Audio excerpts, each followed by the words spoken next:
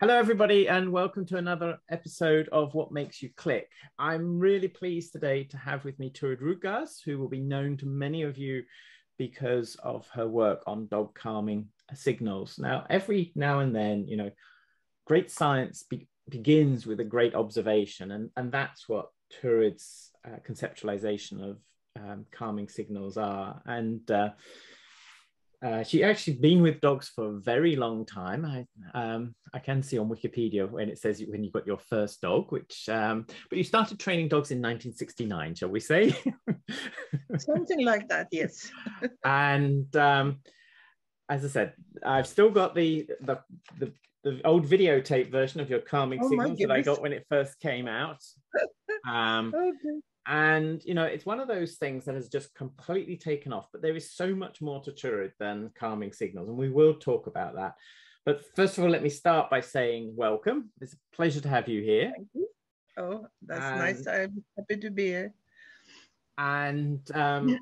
you know just a measure of Turid's contribution to the field is uh, in 2017 she was awarded the king's badge of honor uh, from the King of Norway for her contributions to dog training. And there can't be too many people who get given awards by monarchy for their contributions to animal training. So um, uh, that's sort of a, quite an amazing achievement. So, and I know Turid has interest well beyond dogs as well. I really don't know where we're going to go. Um, I did notice that there is a sort of semi biographical film about you called A Boat Trip with Turid Rugaas, which I haven't seen.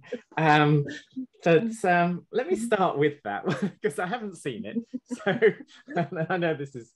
Um, so, so what goes on in that movie? How did that come well, about, even? You know, my friends uh, from uh, Italy, uh, the Haqihana um, company, who is uh, making the harnesses that we promote, uh, for for dogs uh, they are into a lot of things. And they also made all the videos i i have out seven in all i think. And uh, then they got the bright idea to have uh, something like a kind of biography about me. And when they want something they get it usually.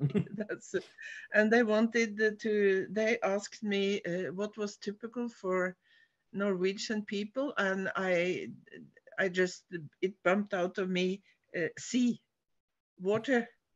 They are sailors. They go to sea. They explore, and that's why they uh, came up with the idea to take, it as a boat trip with me.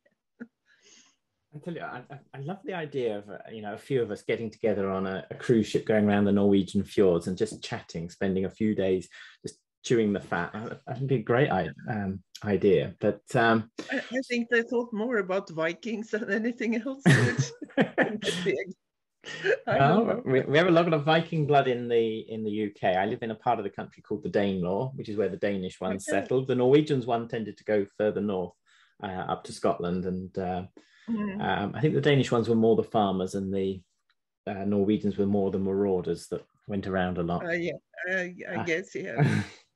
so um, so I started the introduction, and I, will go into this, but there's, as I said, there's lots of other things that I'd like to um, chat about. You know, and you know, one of the things I feel very strongly is science is not the preserve of academics sitting in universities, um, although I'm one of those. Um, that, but you know, great science starts with an observation, and uh, you know in sort of I think the book came out in the early 90s, whatever. But um, you know, where did and it's it's not about the observation, it's it's actually articulating the observation and starting to ask the questions and explore it that sort of makes the great science. And I'm I'm just intrigued to know where, if you know at all, where the idea of sort of calming signals came from. Uh, I don't really know because uh, I have a rare gift, one gift. I'm not talented in many things, but I am an observer. And I was born an observer. I cannot even brag about it because I was just born like that. I spent uh, hours uh, from I was three years old lying in the garden observing uh, hedgehogs. I could spend hours and hours just observing them. So, of course, uh, while you are observing animals, you start to see things and you start to see things that repeat themselves. So up through the years, uh, I noticed a lot of things and I uh, understood very early that that animals actually communicate in a way. And I observed and I observed and I went on and on with it. And then finally, I got the chance of doing something real about it when I took a, um, um, an instructor course with the one person you know, veterinary Overen from Norway. And he uh, set me off to a few things and let me do observations. And after that course, uh, one other of the students and I, we we actually sat down to find out about um, the language of dogs because in all the books we got, they were very old from the 1930s, you know, all these old uh, ethology books. Uh, they always said that wolves have some aggression calming signals, but dogs do not have them. And we got fired up by that because I had seen it all my life, so I was sure about it, but I didn't know exactly how. So we decided to uh, start uh, doing something about it. And we spent two years filming and observing and taking notes.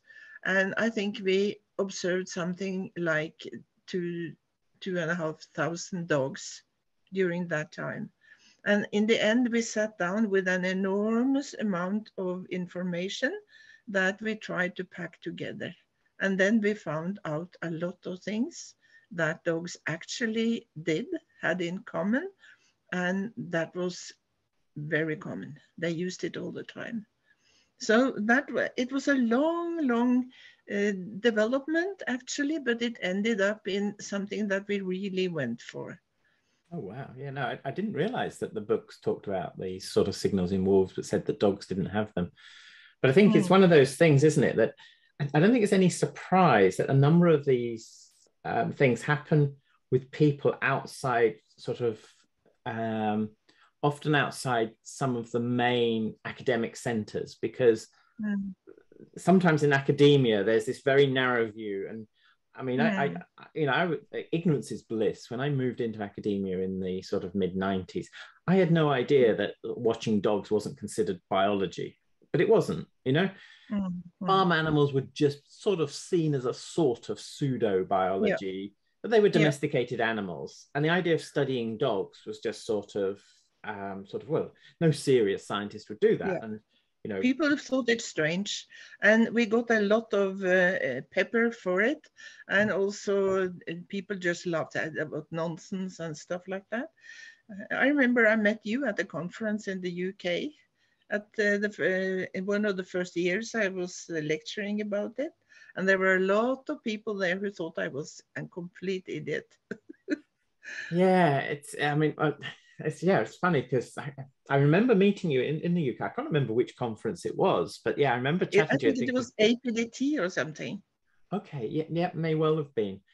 And I just remember sort of listening and thinking, yeah, you're onto it. And and like you, you know, um, and it reminds me the same with Ian Dunbar, you know, and, and, and a few of the other people that I've done these podcasts with. Yeah, it's as you say, it's being an observer and I Ian used to talk about he wasn't very sociable. He'd just go across the field with you know, and, and there was a farmer yeah. that sort of taught him how to observe. And I, I often sort of joke, I'm the youngest of five kids. My two brothers were born first, my two sisters. Um, then there was a little bit of a gap, and then I arrived. So I had to play with the dogs. And mm-hmm. you know, so you know, and I guess that's where my sort of interest in yeah observation came from. I was quite happy just mm. watching um, mm. and, and I, I, still am you know with my photography and stuff now that i just like going out and watching wildlife i can quite happily sit there for hours on end watching stray dogs or stray cats much to my uh, family's disdain on holidays. dad we've been here 20 minutes but, uh, I, I've spent a lot of time with my students uh, trying to teach them how to observe, but I realize that uh, it's hard to learn to be a good observer if you don't have it from from birth. Well, it's it's it's interesting you should say that because there is a study that was done by the Finnish group which showed that people that, that people who seem to sort of have a more natural way with dogs when they observe dog dog interactions mm-hmm. they use the same bit of the brain as when they observe human human interactions and people who mm-hmm. are not skilled um, uh, dog observers yeah just don't do it you know mm. they, they they they have to use a different bit of the brain and it's so much harder and so stuff that somebody like yourself is just intuitive it's just mm-hmm. not you mm-hmm. know the, the brain isn't wired up for it for them and that mm-hmm. makes it really hard now i've actually i've had a couple of phd students where we've tried an experiment about teaching um, dog body language mm-hmm. and um, it just doesn't it just hasn't worked whenever we've tried it mm-hmm. um, you know we give we've we i think the, in the first one you know, we, I think in both of them we gave people videos, and these are different PhD students, um, and we gave them a framework to try and understand what was going on. We made the observations, etc., and then you present them with some other things. And and if you ask them the theory, they can do it, but you give them the video, mm. and mm. they just don't do it. Um, and it, yeah, it's fascinating because you think, well, you know, they can say what they need to see when you and you ask them, but you give them a video and they don't actually process it. I don't know if you've got mm. any hmm. thoughts about you know how we can teach people better observation skills. As you say, it, there obviously is that intuitive element, but if you want to reduce the risk um, to people from dogs, then people have got to become better observers. But maybe they just don't spend enough time with dogs. I don't know. I, I think uh, uh, what I see is I have had so many people for training that uh, I have started to see a kind of pattern. And it's possible to teach anybody just a few things. Don't expect them to see everything. Uh, but they can learn to start to see a few things and concentrate on that. And they might get a little better seeing something more. And I think that's a good start, actually and mm. that might be good enough because they get the idea of looking at the dog and seeing what the dog is trying to say mm. yeah, so no. uh, it's a compromise you know i think it, you're, you're probably right just do it in stages it's a little bit like um, yeah you know teaching somebody to to write a, a, decent essay. If they don't know how to write an mm. introduction, they don't know how to write methods. You can't expect them to do it all in one go. You have to teach each of those skills separately. In the most recent study, we actually combined it with assessment of risk. And that's where we did see some change. Well, after sort of um, after the training, then people did become uh, well. They seemed to the, the more professional people actually became more cautious, which um, I don't think is a bad mm. thing. Um, no, no, definitely not. Because I, I, a lot of scientific people who are not really very good at observing. I'm sorry to say. No, I, I, I don't know. I think you're spot on. I think um, one of my concerns with a lot of scientists is that they've become very formulaic. Um, mm. You know, this is the way you do science, and that's mm. why I say, you hmm. know, some of the.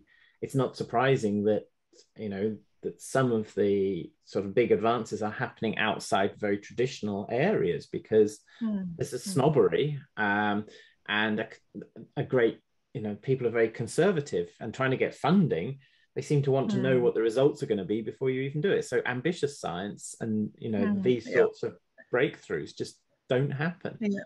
Um, uh, you know, I wanted very much to uh, to study ethology when I was young, but we didn't have it in Norway yet. It came ten years after I was a student. but uh, but uh, in a way, I'm glad that I didn't do it because uh, I wouldn't like to turn my observing brain uh, into more scientific things. I I think it would have spoiled it in a way. There's a so, danger, I think, and and like you, you know, I, I went to vet school, and I was sort of self-taught in behavior. I, I went to um, psychology lectures just because I hated the vet course, to be honest. Um, but but by virtue of be reading vast amounts of stuff, I, I, got different perspectives. And then as I started mm-hmm. to meet academics in the field, you started to realize that some people seem to be drilled in a particular way Other people Mm. drilled in a different way, and they couldn't see each other's points of view. Mm. I've always um, tended to think of, uh, you know, as, by virtue of being a vet, I always thought I don't know much about anything, but I know a little bit about lots of bits of biology. And, and being in a life sciences department, I can often act as a sort of focus for, you know, people to have conversations from different fields. But I think the same goes, as I said, it's surprising in the behavior field how some people are so in a way, it's as if they've got an enormous confidence in their methods without realizing just how Mm, limited mm, they are and the blind spots that there are. mm. Um, In many ways, I'm very glad I'm Norwegian because we are a bit hard headed and stubborn when we do something. And uh, I have got my, uh, my share of it. Mm. And I'm very glad for that because uh, it's been quite hard to, to uh, keep on going with what I really believed in. yeah, And, And, uh, yeah, yeah, and I, I, I do believe in it. yeah. and I, as I said, I can, I, I, I remember that first conference in the UK, and I can remember people saying, "Oh, you know, yeah, what's she on about?" and I just thought, you don't get it, do you? Um, and again, you know, I think there is a there is sometimes a snobbery as well. That what can somebody outside academia tell us about? And you think, oh, for goodness sake, you know. And, and a very, very new way of thinking. So uh, Mm. that was also hard for some people to see it in a totally different way. Mm. And I can understand that in many ways. But I'm glad you have persisted. Um, because as I said, I, it's one of those things which I think has it's had such a big impact on dog welfare, etc. And you know, there must be tremendous satisfaction that comes with that. Yeah, uh, you know, I'm so surprised how uh, how it went uh, so well, because my book is still selling by the thousands every year. I live from my royalties actually, and that is quite enormous. Because uh, I didn't even want to write the book. It was Terry Ryan uh, from US who who pushed me into it, and I said nobody will read that book, but they have. they have. Everybody should read the book. Every dog owner should read the book. It's a it's I've got it here. It's a little book. Um, and, and that's great. You know, Mm. there's no excuse for somebody not reading this book. Um, It's quite easy to read also. It's quite Yeah. small. And and I mean, and Terry actually says, you know, I, I think it's Terry that says in, in the beginning, it might be in your introduction, you know, forget too much about labels, just observe. And again, you know, that's the key thing. And I know, you know, from some of the work that I've done, sort of, and you know, I say, well, you know, exactly what this tells us, exactly what's going on, you know, just that's a different question. What you first of all have to do is observe these occurring in certain contexts and use that information at, at a practical level. But Yeah. um, and you know, I I'm still observing. I can't help it. So uh, me and my daughter has also started to be interested in it.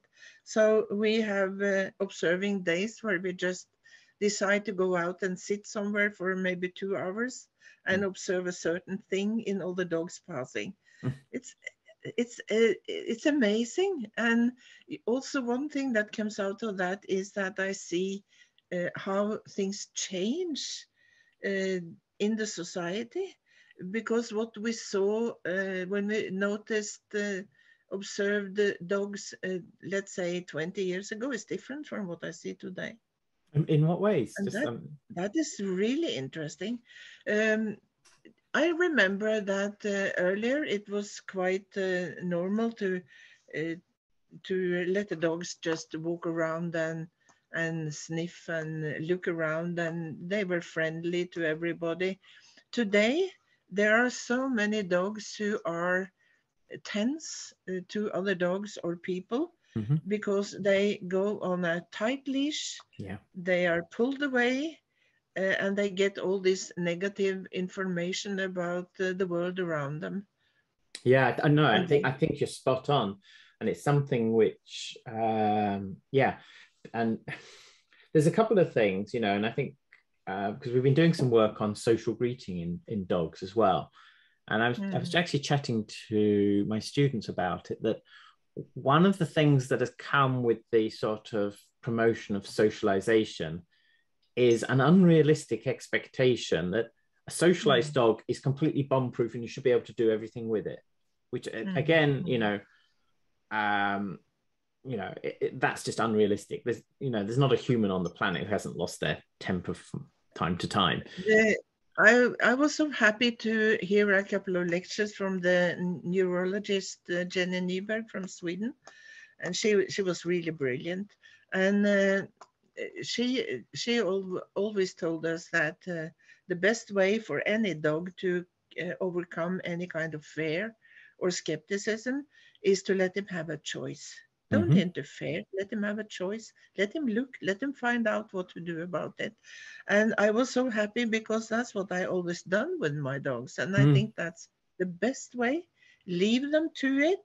Uh, try to have a little distance maybe for some dogs, but leave them to it. Choices, let them find out.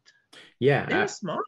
absolutely. And, you know, yeah, their brains will work it out. And as you say, Yeah. people, you know, one of the common things you see now is, yeah, dogs on very short leads. Um, Mhm. owners who seem to want to control everything and just don't give the Mm-hmm. dog yeah some time we did had an undergraduate student a number of years ago and we looked at um, uh, sort of dogs investigating scent so we gathered pee from a number of dogs and put it around the campus and asked Mm. people to walk their dogs and in one of them we sort of looked at we gave the dog as much time as it wanted and it was it was the same dog's pee in several places Mm. um and um uh, and you know with time what you find is the dog just ignores the scent in the other Mm. i think it was after five seconds they pulled the dog away and of course the dog goes through Mm. all of the scents because he's never got all the information it's like sort of. You know interrupting someone before they can finish a sentence they want to start the sentence again each time Mm. and I, I, it's, it's I've been chatting to colleagues recently about this that again there is this danger, this rise in over control. Now we have to keep Yeah. people safe, absolutely.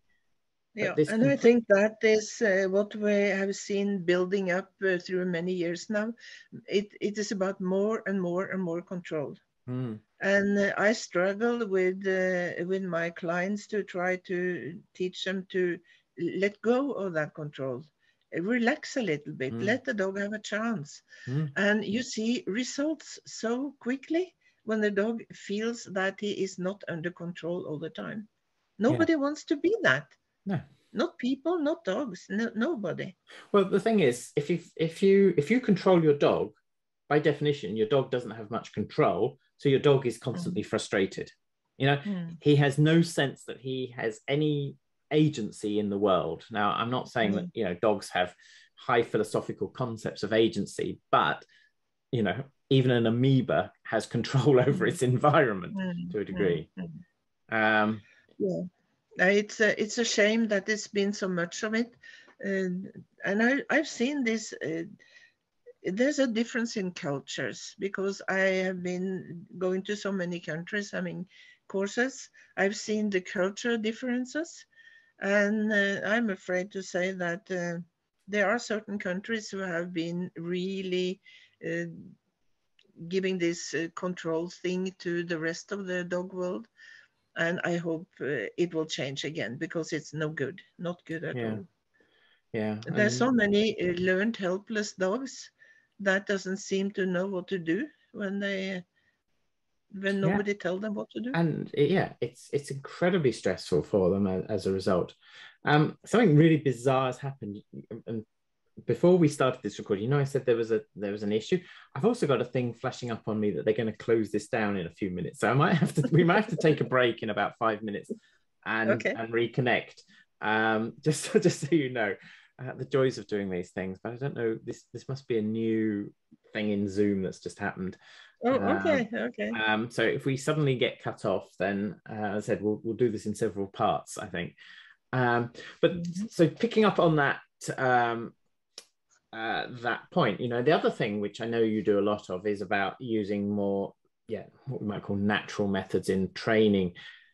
And I'm increasingly concerned, and I don't want this to be misunderstood. you know, using positive reinforcement is a, is a good thing, but people's over dependence on the use of food as a reward Oh, and God. taking We- we away, don't use- no, yeah, it's and, uh, not good. and, we don't use it much, very little, because uh, dogs don't need that for uh, every step they take, and it's it just is a distraction. I find that in most cases, uh, giving treats is a distraction. Yeah. Well, the, the, the thing to me, the big concern is if you give treats, you take away the intrinsic reward of the task. You know, if- Yep. if, you pl- apply out external rewards, then the inner Mm. value of it, and there's loads of work that's been done in the human field in, in this Yeah. area. And, you know, I increasingly see people who can have very obedient dogs, enormous amount of control over them, quite apart.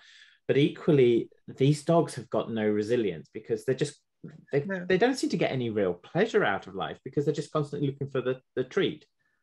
No, and uh, definitely they don't. Um, they are not good in doing what dogs do because dogs are pack animals. They are wonderful uh, family members. They they will look after the kids. They will uh, participate in whatever is going on. They they love to be and do things together with you. Hmm, so uh, absolutely. that that's the best part of it. And this idea that sort of, you know, dog does a recall, give it a food treat. No, he's come to you. It's a social behavior. Give him a social reward. Spend some Do you time, know something? time with I don't even teach dogs recall because when I get a dog in my house, I walk with him and I change direction. And dogs are so visual, they see immediately when something is moving. And when you change direction, they also do. So I use a lot of body language Mhm. to make the communication with them, and it works 10 times better. So that makes me wonder because one of the ways that, yeah, with dogs pulling on the lead is a thing I call switch walking, where you sort of constantly changing direction. And the dog very rapidly learns that actually the only way to work out where you're going is to be one step behind you. And if I'm one step behind you, I'm not pulling on the lead. And I'm just wondering if I picked that up from you because I don't know where I got it from, No, but it's Uh, that changing we- of direction. uh, we find that almost every client coming to us, they need to learn to walk the dog because nobody seems to be able to. And then we take away all the treats they have. They're not allowed to use it. And then we teach them to walk slow enough for the dog to walk instead of running all the time, because then they just have to run to follow and they don't see anything around them. So they have to walk slowly and then we walk along and once in a while change direction and it's it's so lovely to see how the dog immediately also changes his body in that direction he might stand sniffing the ground but he changes so we can follow when it's finished with the sniffing And it's just so much more relaxed as well yeah with it all. so using uh, body language and movement is so much more efficient Mm. instead of uh, all these uh, commands that people are using Yeah, no, I, I, I yeah, I, I agree with you uh, entirely. What a lot of people won't know is that you started um, your professional career as a horse trainer. Is, is that correct? Oh yeah, oh yes. I grew up uh, just beside the racing course in Oslo, and uh, my uncle was a trainer there. So uh, my first memories from uh, animals is horses, and they were my great love from the beginning, actually. So uh, yeah, I've done a lot with horses. Mm. So, I mean, w- were you were you training race horses or were you training? No, um, actually, I didn't have much to do physically with horses till I was adult because in those days, girls were not very welcome in the stables. They were not tough enough for uh, for the work with horses. Then that changed very much. But uh, I was adult when I started to learn to ride. I was a little late. And then I got the chance of taking an instructor uh, class, riding instructor class uh, by the military because they the cavalry was being uh, put down in Norway and they spent the last years educating civilians in uh, working with the horses, which I'm really grateful for because they were really good. I learned a lot. So, so, so, you, so you weren't, although you were sort of with the Norwegian uh, cavalry, you, you weren't employed, you weren't in the Norwegian army, is that right? well, we were not in the army, but uh, uh, they had groups, uh, uh, you know, teaching us like we were in a sort of mini army or something, uh, because I wanted civilians to learn about horses. There were no horses in Norway after the Second World War because the Germans took them all. So we, we started scratch with a few uh, horses and there were no races, there were nothing like that at all. So it was uh, a lot of uh, knowledge that went lost. So I remember, again, it will be sort of early 90s going to Norway to a horse conference. And, and I never thought about that. But yeah, after the war, um, uh, sort of, yeah, the, the loss of the horses. And I went, they took us on a trip to sort of the breeding centers of some of the national yeah. breeds. So okay. not only the Norwegian fjord, but uh, there's Dor, Dor uh, Nord. Um, Nor- Northland horse, yeah. Yeah, I mean, an amazing place, but it also explains the great pride that they had. I guess because I, I guess mm. you know they nearly lost mm. all of these breeds um, because of it. So yeah, um, when I started a riding school briefly in 1972, I think it was, um, actually we had big trouble getting horses there. So we started with just two, three horses. It was impossible. We had to get a couple from Denmark. Mm. And that was really troublesome. There were no horses around yet. But then it started gradually to build up, and now we have horses everywhere, I think. That's a nice way to be, isn't it? So, what about calming signals in horses? What are your oh, thoughts there? oh yes, they have them too. Yeah, I think I, have got feelings. Somebody just produced a book. I know. It was my student. She took my dog trainer education, and then when she was going to make uh, her her uh, annual uh, work essay, uh, she she asked uh, what I asked her what she was interested in, and she's and she said the horses, and I said okay. You can, uh, for instance, look at the calming signals in horses, and she just took it like that. So she started after the the course to work on it, and she has done a brilliant job. She has uh, published a book on calming signals in mm. horses, mm. and she has also published a book about uh, nose work with mm. horses, mental stimulation. So uh, she has, uh, and she was just here visiting me last week uh, because we are good friends and we see each other all the time and we love to talk about horses as well. Yeah. So, so, so why did she write the book and not you? because given that you, you, you must have known, you must have known about these signals for a long mm, time. She, she is more, um, what shall we say, scientific in a way. Okay. And she wanted to do it. And I didn't really have time because mm. I was working 24 7. Yeah. At that time. So mm. I was happy to let her do it. And she's done a brilliant job. Okay. I could never have done it as well as she did it. Yeah, and it's it's again it's going back to what we were talking about earlier with dogs. I mean, horses are such a victim of people not giving them time to work it out they are victims. Yes, definitely. Yeah. And I hate to see it. And I mean, when I was riding, I mostly rode without reins. I, I, I, just used my body and my mm. weight and everything. And it, it was so much uh, pleasant in a way to do it a little more natural and easy. Yeah, I mean, I, I, I remember when I was, I, I, took one of my sons with me to Brazil, and we, we, I mean, yeah, we had reins, but we were neck reining, and it was just sort of mm. so much nicer than. Mm. Uh, I mean, it, it is really a pain for a horse to have all this gear in his mouth and being pulled that. It's it's painful. Was one of the telltale uh, things when you've got um, sometimes with horses that have got head shaking, and you recommend a bitless bridle to people and say, mm. "But I feel I've got no control." And thinking, in which case you probably shouldn't have been riding the horse in the first No, place. Exactly. That's what I also told people. If you feel insecure on the horse, you shouldn't be riding. You have to learn more about uh, yourself and how to ride. Hmm. So Yeah. um, yeah, I agree. Yeah. No, So, do you have horses where you are now? not now because uh, my last horse died uh, a few years ago, and I'm too old to get any new Yeah. ones. That's not fair to the horse. Uh, I hate that uh, to know that I have to go to someone else. I hate that. yeah, I mean, it's but you used to do long distance riding, is that right? Yes, yes.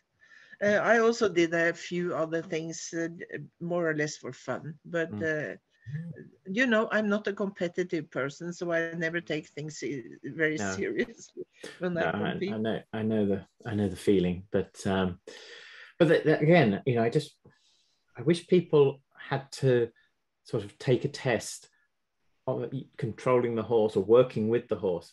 Controlling isn't the right word.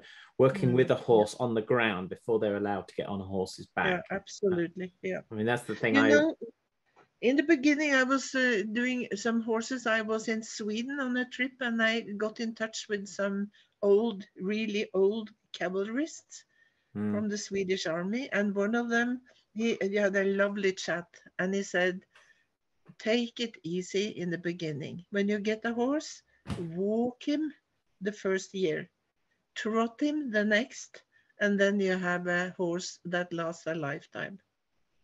And uh, of course, that was a bit uh, maybe easy, but yes, I've kept that with me, and I uh, think we should do the same with dogs. They should be taken very, very gently in the beginning.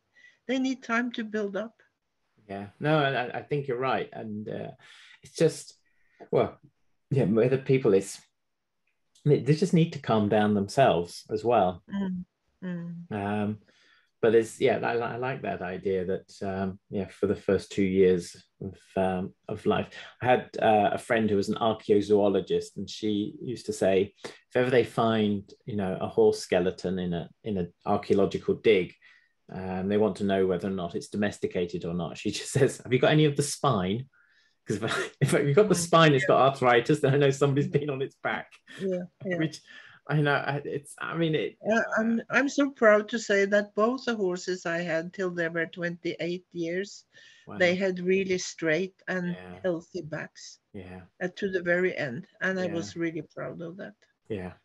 And I just, I mean, I'm, I, I love horses, but I don't ride because I feel sorry for, I feel sorry for a horse Yeah. with me on their back, actually. Yeah. I, my, my wife uh, used to be a, a gymnast, and so she's got great balance. Um, but I, I'm like a sack of potatoes, and people often used to say that. But, um, but it's, it's nice sort of when you got I, the. uh, I think it's good to be beside them. You get more contact with them that way. So I always start uh, in the beginning by walking beside them, and uh, did it a lot later also. So I like dogs, I like cats, and I like horses. So cats, where do you stand on cats? I don't think I've ever asked you about cats. That's really ridiculous. I like cats. I have had cats and I like them, but I don't understand them. And I, you know, my daughter has a cat now, and I, I just don't don't understand what to do with that cat, honestly. So that is a bit mystery to me. I think the secret with a cat is not to try to do much with it, but let it do what it wants to you. they do what they do, and that's yeah, it. we've got a new cat, um, and uh, it's- it's a rescue, and it's the, the previous cats we've had all always seem to have had some sort of musculoskeletal problem for various Okay. reasons. And we've got this relatively young male cat who is just fit, and we're just not used to the cat being everywhere. But um, but they certainly change your your home. At the at the farm that I lived in for 40 years, uh, we had cats and they seemed to multiply, funny enough. So at some point we had 14 of them. Yeah. But you know, they lived like a family. Mm. The, the sisters and aunts and uncles took care of the newborn kittens. Oh wow. And it was just like a family. And nobody believes me because I say cats are not like that, but they did. Mm. Well, it, it's an interesting one. We've we've been doing some work on that, and there's two aspects to sociability in cats, and I think they often get confused. And uh, I think you know the same applies to dogs and horses as well. There is, and we were talking earlier about socialization. Now, socialization allows you to accept things, mm. and you know to see be part of your social group. And yes, it's very important. But there is the temperament trait associated with um, how sociable you are. And the same, and we, we mm. recognize it much more in cats now that there are certainly some cats that are temperamentally much more likely to be loners. Now, if you socialize them, they'll get on with one or two people and that, mm. you know, they, they won't be um, disruptive, mm. but they're not gregarious, you know, they're not yeah, okay. in big groups. But then there's an, at the other end, there is this very, very social trait. Mm. You know, like, like so there are dogs. differences in it uh, in different. Uh, and if you socialize those, then they will quite happily live in large groups mm. and and tolerate each other and and more than mm. tolerate each other. Um, and I remember um, John Bradshaw saying uh, about sort of well, one of the things with cats and domestication is we never selected for sociability, and he reckoned you know we could very quickly um, sort of turn this around. And I remember being slightly skeptical of his sort of time frames but now that i've started to look into it you think it is actually there in the population now you know mm. people are not going to do that sort of selective breeding in cats mm. unfortunately but um but there are you know a lot of people want that hypersocial cat um and uh, it's more socialization isn't going to give it to you if the cat isn't genetically predisposed and I think the same mm. goes with dogs. You know, whilst the vast majority of dogs are very social, you get some dogs that just want to be much more. I, I don't know. Maybe it has to do with the the environment uh, mm. you have, because uh, all our animals seem to be very social at the farm because mm. we just accepted them as part of the family. Cats, horses, yeah. Uh, rabbits, whatever. The, it was amazing. Well, again, it goes back to what we were saying earlier, just giving them the time to work it out and realize mm-hmm. this isn't a threat. Mm-hmm. and if it's not it a threat, it was a great time actually. It yeah. was. um, I went uh, many years ago. I went to. Do you know Martha Kiley-Worthington? Uh, what? The... Martha, Martha Kiley-Worthington. Do you know Martha? No. Okay, so she's um, she's written some stuff on uh, horses as well, but she's um, she's one of these people who's not afraid to challenge the status quo with her views on um, ethology and, okay. uh, and the like. And I went to visit her once with um, an American friend who just arrived in the country, and we had um, basically the meal in her multi-species living room. And yeah, you know, there were llamas and chickens. the chicken was not on the mm. table as a dish; it was just on the table eating. it was, it was quite a uh, an eclectic mix, shall we say? Um, quite a memorable mm. experience for somebody who just arrived from America. and This was her first experience mm. of the Brits. I, I, think it is fantastic to see when when old, uh, what shall we say, knowledge and instincts pop up in our domesticated animals, because very often we don't really see it because I don't have any chance to use it. Uh, I was a stable manager for 17 uh, horses for a long time. And in the summer, they were let out in huge areas in the forest to, to have some free time. And uh, one very hot summer, uh, I noticed that the, the brook that ran through the area was drying out so uh, I uh, went, uh, I was going back to catch some water and fill up some water bowls for them. But all of a sudden I noticed that one of the horses was circling in a little area out in the field. And all of a sudden he started to use his front leg, pawing. And I was fascinated, so I stood there watching him. And it took some time, but all of a sudden there was water spr sprouting out. He had sensed water in the ground mm. and he mm. dug it out. wow. Isn't that amazing? Yeah. That's one of my uh, favorite memories of that time. Wow. Yeah. It was that's... so fantastic. They still have it, even so many years of being taken away from everything natural. Mm. Isn't that fantastic? So there is this observation that people have made about you know animals detecting earthquakes, particularly hoofed animals, and yeah. we know that yeah. the hooves obviously have a rich nerve supply, mm. um, and whether or not they can sort of pick up some of these vibrations early on. Um, mm. I got a feeling that in China they actually have these early warning stations you know which basically okay. basically what they are is they're big game parks and they just watch the animals mm-hmm. they start mm-hmm. to move in a strange way they think an earthquake's coming we got to be careful i was in japan once and uh, one day uh, all the dogs they had a, a, huge area with many dogs in different uh, uh fenced uh, fenced in areas and all the dogs started to get very uh, you know, they were restless. Mm. They were howling a bit. they were quite unusual. Uh, and uh, that night there was an earthquake. Mm, wow. But they started already in the middle of the day, mm. 12 hours before it actually came. Wow. Yeah. There's, there's an awful and I believe they actually sensed it. I, I really yeah. do. Well, it's it's one of those things, you know. It's um, say we all live in our own worlds and I think it, it's something that's starting to appear more in the animal behavior field. This appreciation that, yeah, mm. that mm. we all create our own realities, and you know, I'm, I'm I have a strange form of color blindness.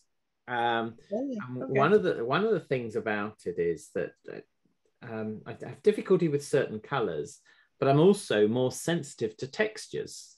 So okay, um, so you know, whilst nobody can explain to me the colours that I can't see, because, okay, but it's a, okay. obviously it's a different consciousness, and this idea that you know what our senses give us is the real world is a complete uh, sort of non-starter. And I know you've you've you've studied philosophy, um, but you know your brain presents you with information that through evolution has been advantageous to you. It is not the real world. You know, we know that there's colors in ultraviolet, etc., that we don't mm. see. Mm. Um, you know, and um, and it's like I often think, you know, I've got friends who really, I mean, I like a glass of wine, but some of them, you know, really do appreciate wine and the different complexities. And I, I, I you know, it's beyond me. But if they can detect all these things in a glass of wine, you know, it is, it's a different type of consciousness. Mm, yeah. There's things that I don't detect that they do detect, and that's, you know, they, mm. that, that, and, you know, and I think that recognizing this and, and how, you know, not just between species, you know, the, the world of the dog, um, um, and how different it is, but also between individuals. Mm. Um, we did a little experiment a few years ago where we taught the cats um, that they had to find a food reward in a little maze. And the way that we set it up is they could use either a scent cue on the cat flap to sort of different doors in the maze, or they could use um, a visual cue. Now, much mm-hmm. to our surprise, most of the cats um, actually used a visual cue but mm. But some of them used the scent cue and it just got me thinking that i bet you that cat lives in a completely different world to the others if if he thinks mm. that you know scent is more important than what i can see i'm sure mm. his brain is presenting him with a very different view of the world mm. you know and i think that as i said when we think of dogs and whatever you know the information um, often we want them to be very visual because we're working with them and we're very visual and, and dogs have yeah. but dogs use their sight uh, first mm. no matter in what situation they are yeah. they see first yeah then you can see it in any dog he walks through a doorway and the moment he is on the threshold you can see him actually check yeah. with one glance mm. what is there uh, so they are very dependent on, I think all of them are. I have hmm. never mm. met anyone who didn't. They are dependent on checking, seeing what's going on, and then they push the other senses into uh, action mm. uh, if they want to check out something more. That's so interesting to Yeah. look at. and that's it i think you know they have this tremendous scent ability and i know you, you you've done scent work as well we'll to chat about that Mm. but Mm. but that doesn't mean that that yeah as you say that's not their primary thing dogs are very visual because if they're with Mm. people etc you know you have to understand people and you look at them and we've got some work you know that suggests that yeah dogs look at people's body outlines in order to work out whether they're worth approaching they then inspect faces interestingly when they inspect faces they do it in quite a human way whereas humans looking at dog faces do that in a human way not the dog way so dogs tend to look at each other's ears humans look at each other's eyes and dogs when they look at humans look at their eyes more than their ears um, so they, they seem to have got a better hang on how to interpret we were talking earlier about how to interpret and this is one of the things you know dogs are probably better at it than humans the other uh. Absolutely. They are so good at it. But then you know they've got this tremendous ability of scent which they can choose i think to engage in you know it's sort of if they want to make the effort um Mhm. but um but yeah depending It's the- enormous.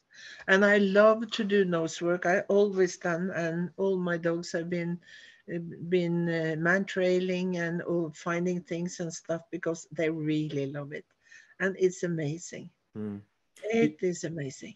So, But um, also horses. Horses, uh, Mm. th- they are never allowed to use their scent, mm, and they are so good at it. yeah no they've got they've got a pretty big um cribriform plate covered in uh, olfactory receptors so yeah they, they yeah and, Mm. and You know, uh, my I was out uh, riding my Arabian many many years ago, and uh, he went with loose reins as usual, and then he went with his nose to the ground, and he started. He it it was very consciously he followed a track, mm, so I let him do that, and he went and he went into the forest with nose on the track, and all of a sudden he stopped up, used his front leg, and killed a snake. oh wow He had he had followed the the track of a snake actually. wow Isn't that amazing? yeah no no. I Um, thought it was fantastic. Yeah, I've, I've, no, I've not. I've, I've not heard that before. Um, I, I remember chatting to Sue McDonnell once, and she asked me about a a horse that seemed to be killing uh, rabbits in the field.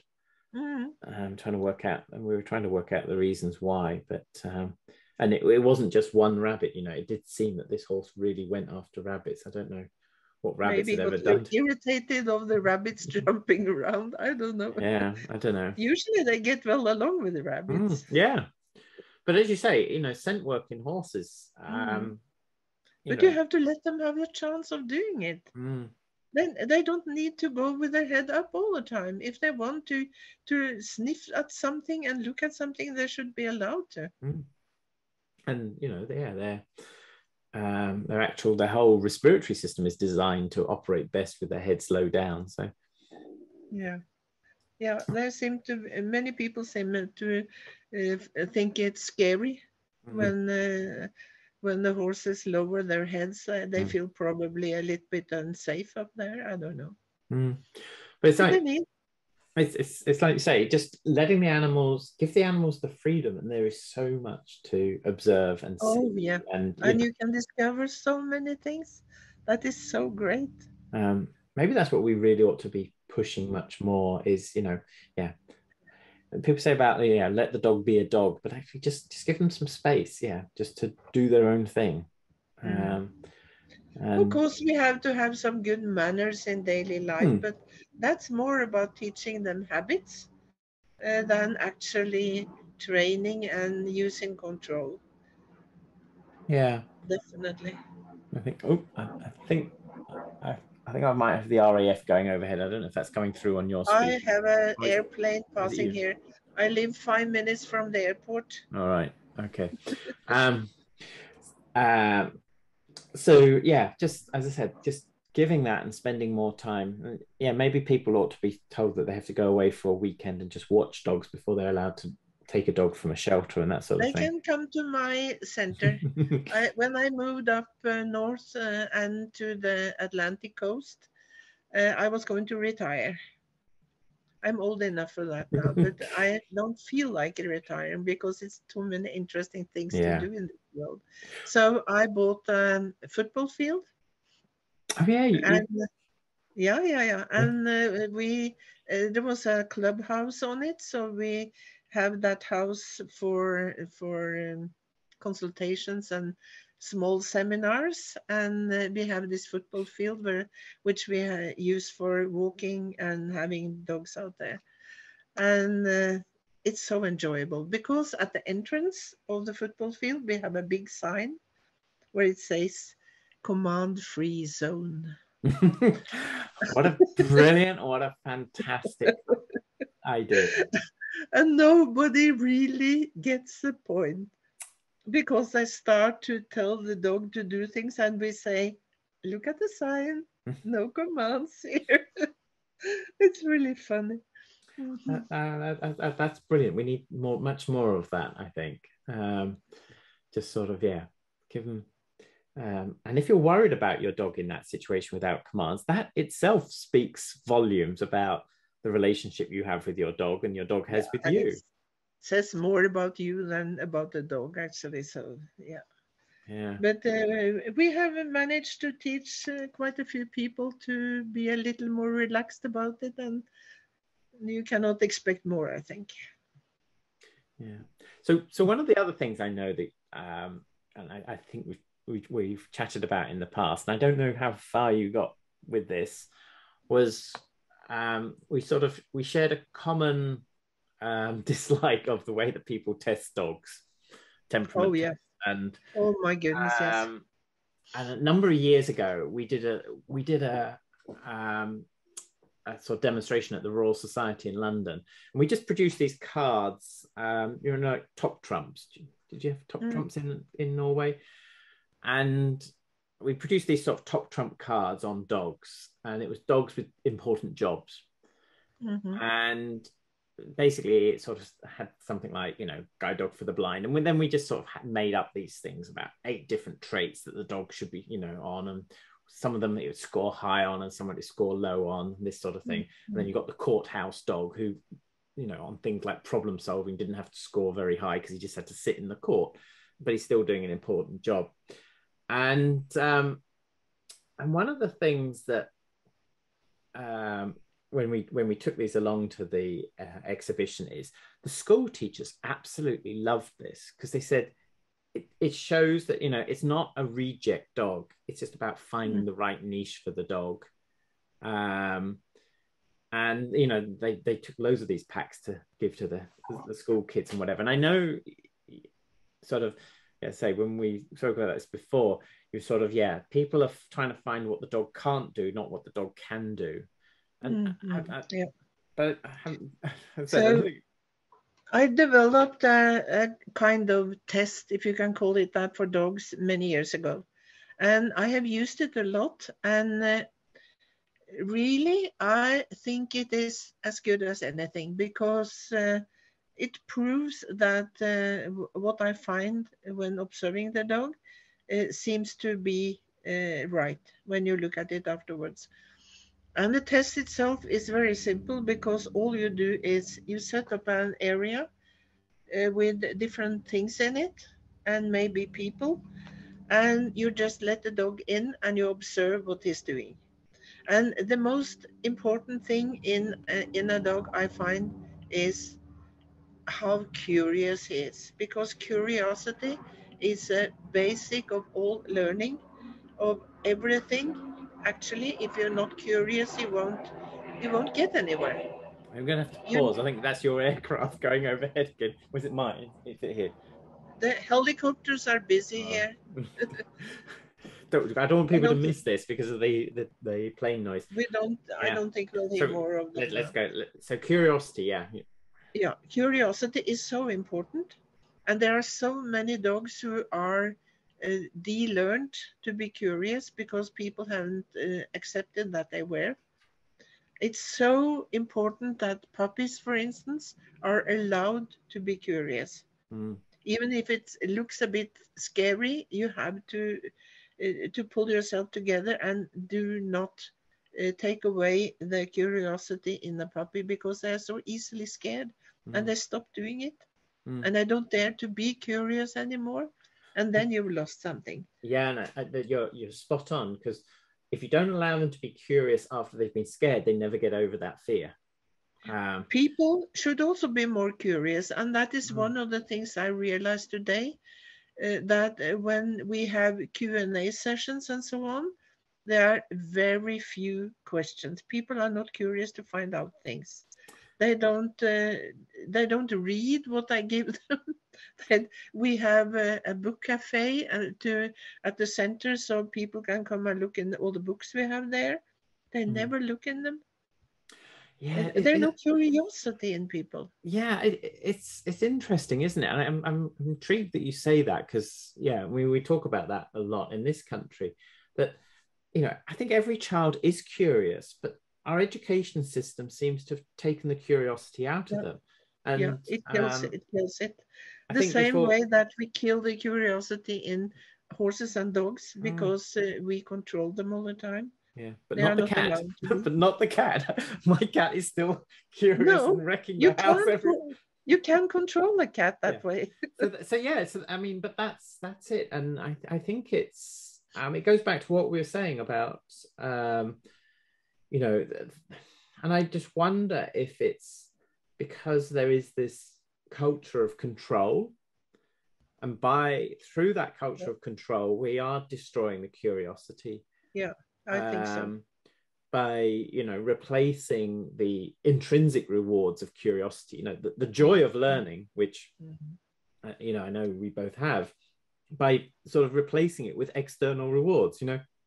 It's all this sort of do this and you'll get you'll get that. And you think as opposed to do this because it's interesting.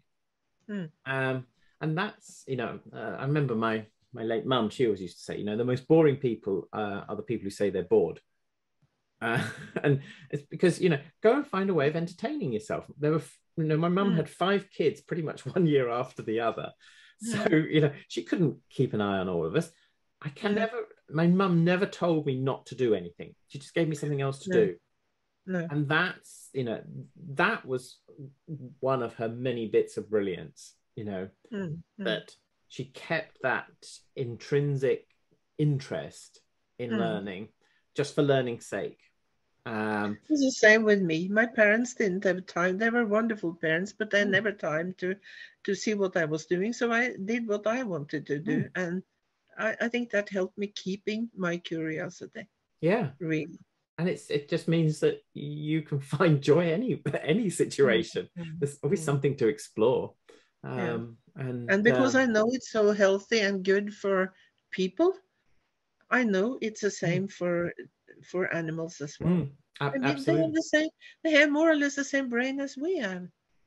They have so much in common with us.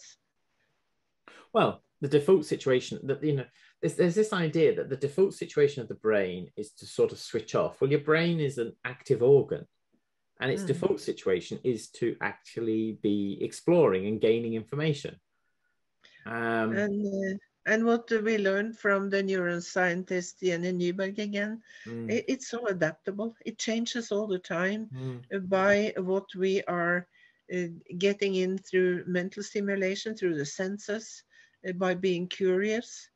mm, And they found out with this uh, ME uh, tests on people that when a person gets curious, the whole brain gets Mm. active. yeah And that's what we need. We need the brain to be Mm. active. yeah and it's just yeah as you say I, but i'm just yeah i'm just concerned that as you say just like children we've, we're, we're stripping it out from animals as well and people Mm. just need to uh, yeah just ease it. As you say every dog training center ought to have this no command area where the dogs can just be curious you know? Yeah be allowed to do their own thing. Um, and if, if it's not safe for your dog to do that then you know you need to think about well why isn't it safe and what is the relationship i've got with my dog?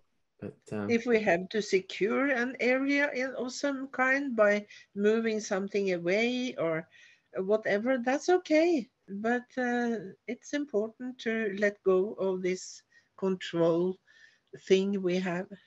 really. It's like um, I, I, think this bit was off air, so I'll just say it again. You know, I started this podcast series because I've been so lucky with the people that I've met, and I just have that yeah curiosity and just chat mm. to anybody um, mm. and you know people think, oh you know they're very eminent it doesn't matter that they're eminent they're still a human being and you just chat to them yeah. and, and people have shared their insights etc and um, i hope i do the same i mean i, I yeah I, well i really hope i do because it, it, i think it is healthy i mean at my age uh, i'm I have a lot of physical problems. I'm uh, quite rotten from here and down, but as long as this is working, yeah. my head is okay. I, am happy. So but I it, use my curiosity for all it's worth. Mm. And it's the, the, what I don't like is people sort of knowledge is power, and you just think, well, yes, but don't keep it to yourself. You know, we should be. You know, the more I discuss ideas with people, and yeah, you know, I, like most people in academia, I've discussed things with other people and then seen the experiment done and think, oh, mm. but to be honest, I've got so many other experiments I could do, and I didn't get around to doing that. It's not the end of the world. Um, and I gain far more by discussing my ideas than mm. I lose by sharing ideas and other people going off with them and doing stuff with it. You know, it's just, yeah. Mm. Um, and it's just a much better way to be, much, much more fun. Yeah, I agree. It's uh, absolutely. So and there's so so much interesting to to uh, look at and try to learn about still. Mm, absolutely, so we have a lot to do. I mean, if I could do more uh, method development, I would do that. I love to do that. Mm. It's so interesting to see how you can make things easier and simpler and. I think I want to come on a visit and and, and just spend a week with you in Norway. Oh, that would be wonderful. Um, you should. We just watch the animals. Area, this area is so beautiful. When Rachel Draaisma was here, the the horse woman, mm. uh, we had um, we, we, I always send people on the eagle safari out here. Oh wow! It's a fantastic uh, area for eagles, mm. and uh, yeah, no, it's a, it's a fabulous area. I've just bought a new wildlife lens for my camera, so um, you might find me knocking on your door sooner than you expect. oh, you're welcome. That's fine. but um, hmm. but anyway, I, I, guess as I said, we've we obviously had to take a break, and I'm I'm conscious of time. So um, as always, it's been such a pleasure to chat to you, and I hope we get a chance to catch up before too long. Um, but before we close, is there anything I sort of I'm, there's so much I could talk about, but is there anything you want to share with people before we close? I think we've uh, been into some of the most important things because uh, uh, I have a I have a soft spot for uh, curiosity, for letting go of control and this sort of thing, because there are so much fantastic in animals. They are just uh, all the years they have learned and developed into survivors. They mm. have so much valuable things in them, and they should be allowed to to have it. Yeah, absolutely. And it's not about it's not about permissiveness. It's about letting them learn their place, their own way, mm. and mm. enjoying their life as a result. And I, as I said, the, the joy of these things is I never know how these chats are going to go. And this has been such a pleasure to catch up with you. And as I said, it's just those fun. thoughts. And um, I hope it won't mm. be too long before we get a chance to catch up either in person. That would or... be great. Absolutely. Yeah. Thank you once again to my guest and to you for listening. And also a special thank you to Cedric van Gronsveld for his editing in making these things come together. Thanks a lot.